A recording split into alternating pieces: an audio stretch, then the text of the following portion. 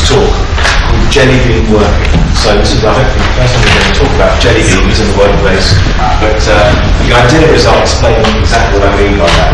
And really what we're talking about is this collision between people and area of changing future, colliding with emerging technology and then the physical environment. And that's what defines the future of work, those three colliding forces.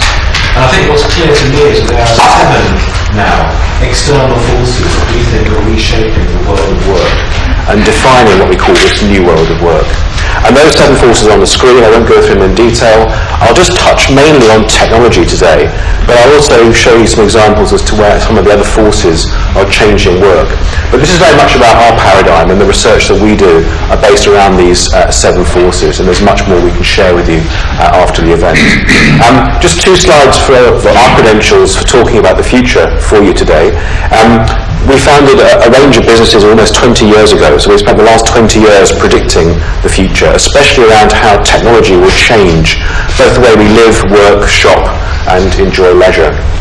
And we've worked for well over a thousand corporates over those 20 years, all over the globe. And we've also introduced this conference, WorkTech, now to 15 global cities, uh, ranging from Santiago to Shanghai uh, to, to Stockholm and elsewhere. And finally, I write a book every two or three years with my co-author Jeremy Myerson. We spend our lives looking around the world, finding innovation, talking to organisations that have made big changes. And the books, as you can see, have now appeared in almost every language you can imagine, from Mandarin and Korean to Russian, Italian, German, and so on. So what excites me is this is a global phenomenon. This is now something we're seeing in every part of the world. And uh, places like South America are exploding with innovation in workplace. So I'll share a few of the things I'm seeing, which I think are particularly particularly exciting. And with technology, let me dim the lights a little bit more. Um, with technology, what, what I think is key is how quickly things move on. Um, this is a shot of St. Peter's Square in Rome. Just look at the difference for the Pope's inauguration from 2005 yeah. to 2013. And I think we forget how quickly it is that people adopt new technologies. And The Economist, I think, sums up very well the mood back in that era. This was 2005. And in fact, Philip and I were on stage around then with Nicholas Zennström, who was perhaps the pioneer that killed the idea that you could charge for phone calls across the world. The Economist a few weeks ago, I think last month, had this front cover, which to, to, to me exactly summarises where we've got to in our journey. You know, while technology was killing established IT industries, it is now about to disrupt fundamentally how we work. And I think we're at this turning point today, which I think is very exciting for us uh, in this room. So what does that mean? Well, look at this incredible transition that we've had in technology. You, you forget how, how quickly things like Netscape Navigator um, have moved into the web experience that we have today. So today's talk will try and predict the next 10 years for you and the big shift that we're going to see next. And I think one of the things that's driving that shift is, of course, the cloud. And most of you are now cloud adopters. You are using Flickr or Google, uh, Salesforce or, or, or Facebook and so on. And software as a service, as it's known, these are just some of the many players in that world. And consumption economics has changed the face of technology. You, you now pay per person per use or per person per month. There is no capex anymore to launch a new technology platform, which is a fundamental change in how you invest in technology.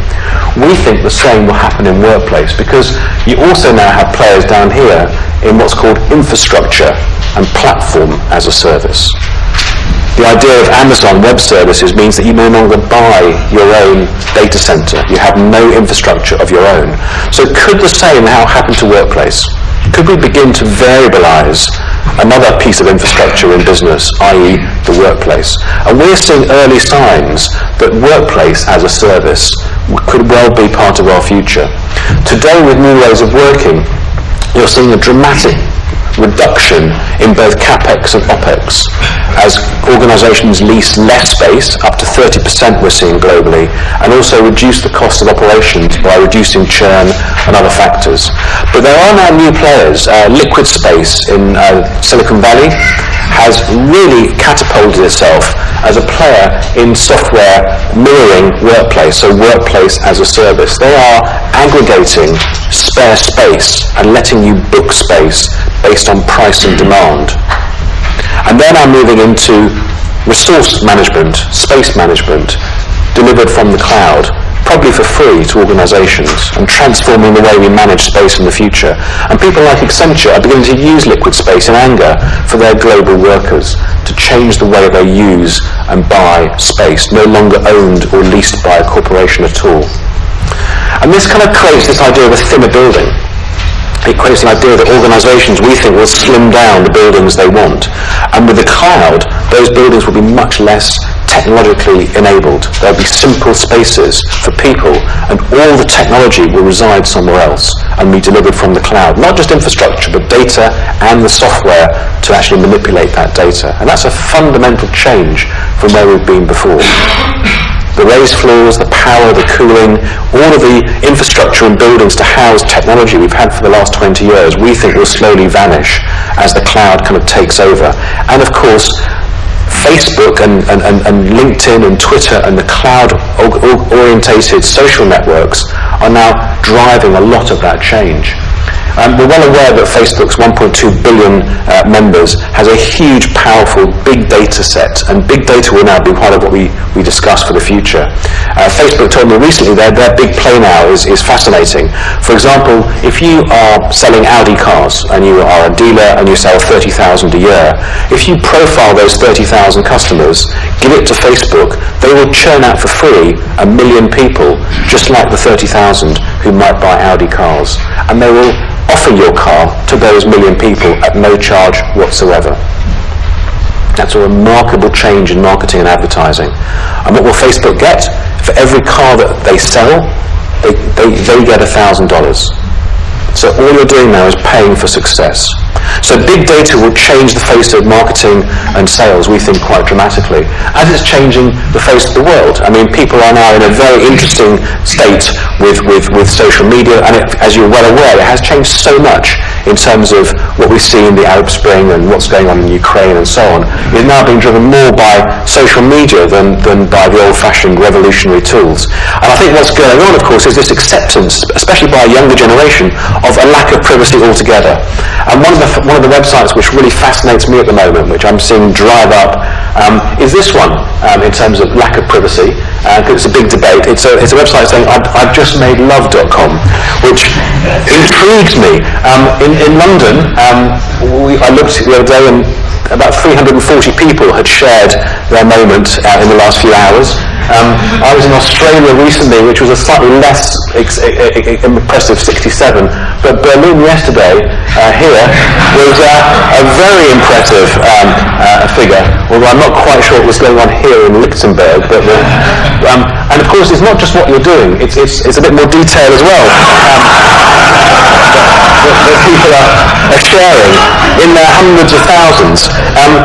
And, and, so it, it intrigues me that social media will be much more than we have had in the past.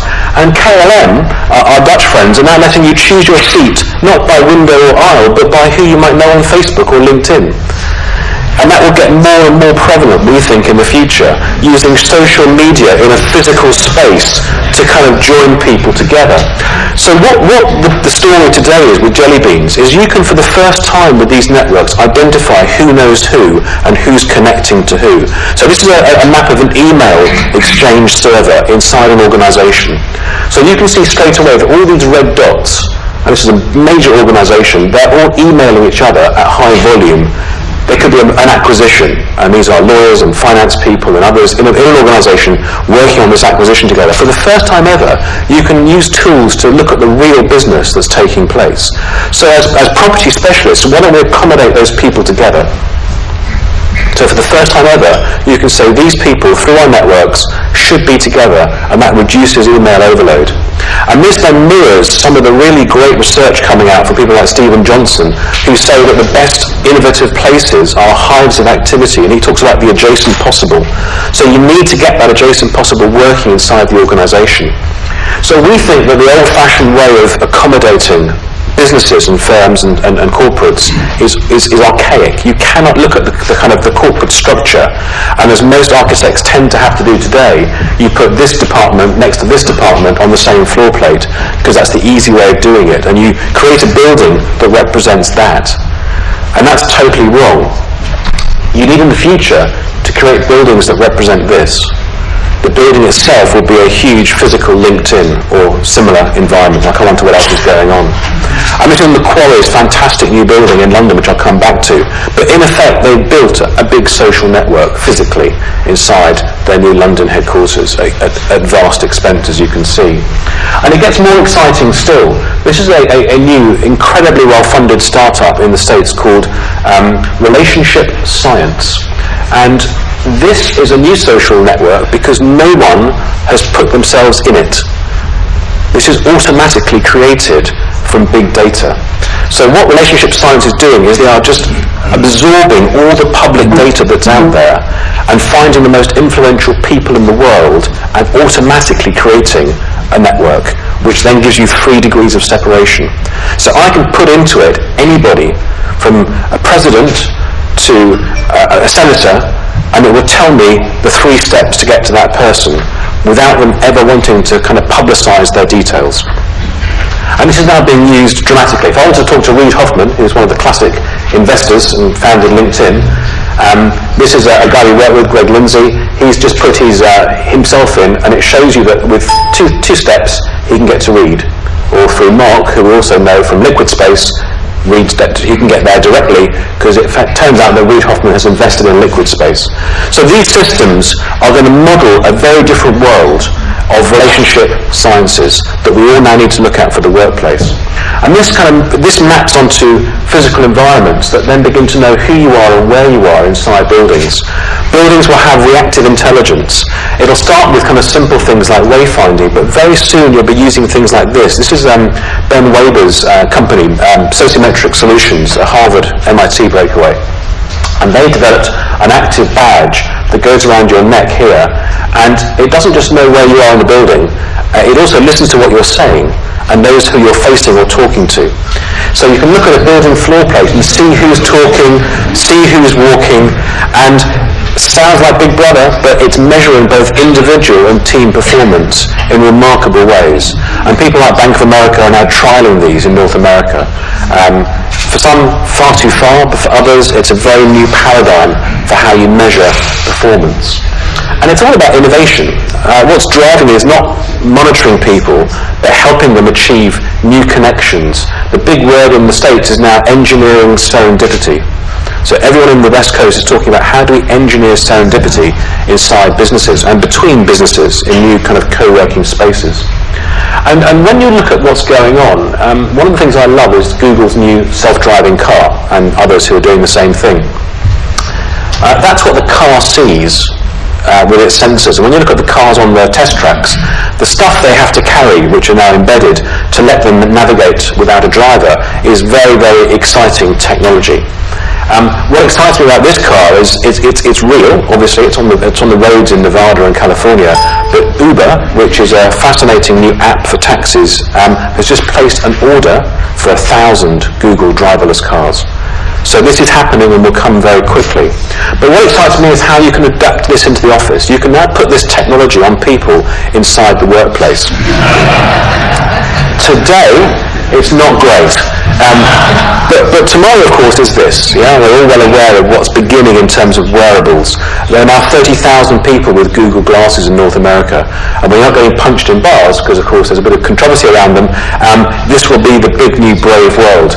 And what's inside the iPhone is very exciting. When you break it down, the three things that really are exciting are the barometer, the accelerometer, and the gyrometer. And those three miniaturized technologies allow you to know what's going on. I'll come back to how you might use that later on. But they link into this new huge trend called the Internet of Things. And we have a big research uh, uh, project called Connected Real Estate or Real-Time Real Estate, which we predict will be huge. And there are lots of technologies now driving the idea that miniaturized sensors can be put into inanimate objects and buildings and have a 10-year battery life at least, or be powered via ambient light or vibration and therefore last forever. And some of the things that are moving towards this are things like um, Bluetooth, new, the new Bluetooth standard for low energy, BLE. They begin to allow you through wireless to really understand what's happening inside buildings for, for the first time ever, modeling movement, interactions, densities, and a whole range of things. And when you see this live, this is a, a, a trial in a company in Singapore, the smartphone allows you, through positioning, to know exactly where you are on the floor plate and see around you, not just space and what's available, um, and you, you, you, check in typically by touching a sensor. This is near field communication. But the killer is to see who is where. So in this space, once you're in there and you've checked in, you can see your colleagues and you can actually overlay not just their Twitter feeds, but their Yammer as well. So not only do you know who's in and where they are, you know what they're doing, thinking, or tweeting about. Scary for some, exciting for others. Because of course what then happens in a big organisation is you'd introduce people, you engineer the serendipity. You say that person's tweeting about something that you are should or should know about. You should you should get together. So for organisations which are knowledge based, this is the next we think big wave of creating the encounters that will engineer success and innovation. And retail's jumped on this. Um, the retail world has really adopted this.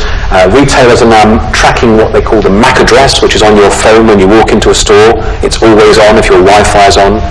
Um, they're getting you to check in here via Facebook, and as soon as you've checked in once, you're forever identified as an individual as you walk in, and it tells them not just what you've bought historically from that store forever, but what you've been browsing online or on your mobile in the last few seconds or hours before you walk into the store. And that's happening today. Um, obviously, the retailers want to give you vouchers, but in the workplace, you can do new things. And therefore, Bluetooth Low Energy will be a key ingredient with this, and people like Apple have now introduced this to their stores. Apple's launching iBeacon. Anyone come across iBeacon yet? I don't think it's been widely publicised, but they've certainly briefed us. iBeacon is their new technology. It's built into every Apple device already, and it's in every Apple store globally today. And that's what it looks like. It's a little a thing made by a company called Estimote, and it shows you with Bluetooth Low Energy, products interacts with you as you walk into a physical space. And this will get more and more exciting as, as we go forwards. In effect, kind of covering a city, a campus, a building, or an area in this kind of connected bubble in which things and people will all start to interact in a very different way. And of course, the devices we carry, whether it's one of these or, or one of these, will always be on. Uh, wireless will be kind of unconscious, and it will begin to allow you to do new things based on identifying who you are and your preferences and your connections and so on. So one of our big uh, ideas, of course, is the death of the telephone. Uh, we think that that will go and very quickly it'll just be software. Um, and, and the software, of course, will be driven by not just uh, numbers but people.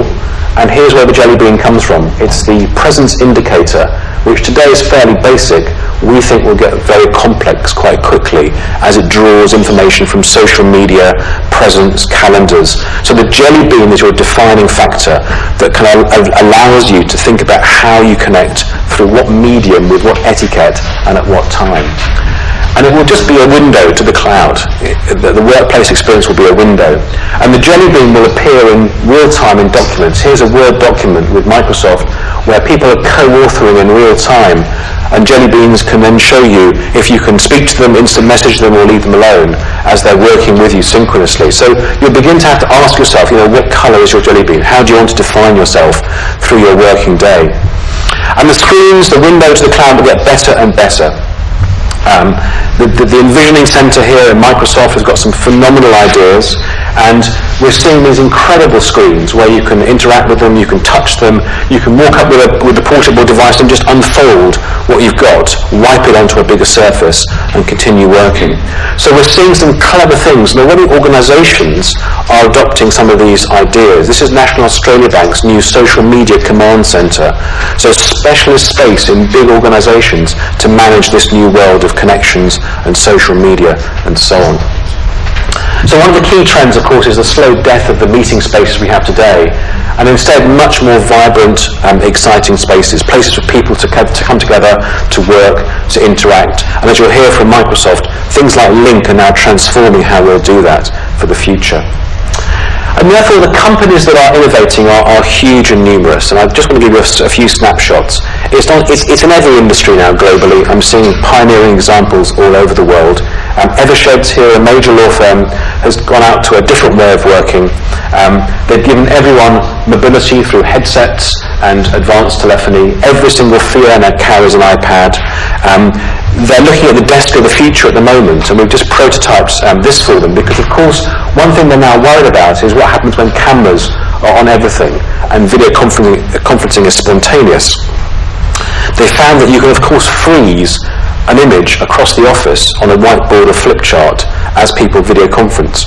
So they're beginning to experiment now with a backdrop. You can pull out a screen when you want to do a video conference, you can swivel the desk around, and in, a, in, a, in effect you can create a small kind of studio within an open working environment to prevent privacy issues with cameras being used for ad hoc Lync-based uh, conferences and others like WebEx and so on.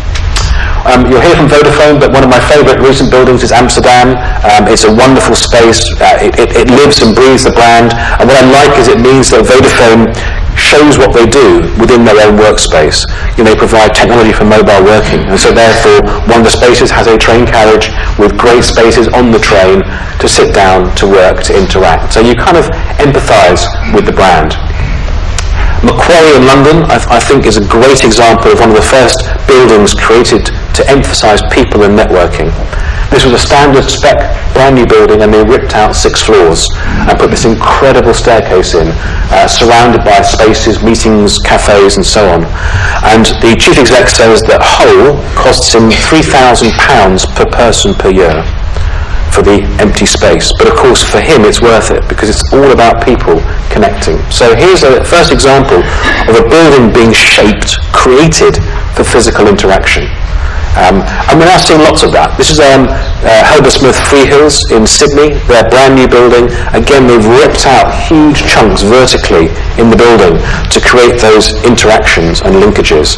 And here, uh, a brand new building in uh, Melbourne for the National Bank of Australia, um, National Australia Bank, um, phenomenal building.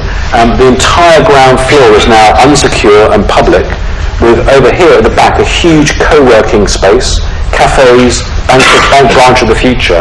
And you can just tell from the volume that the space is all about people interaction, movement, transparency.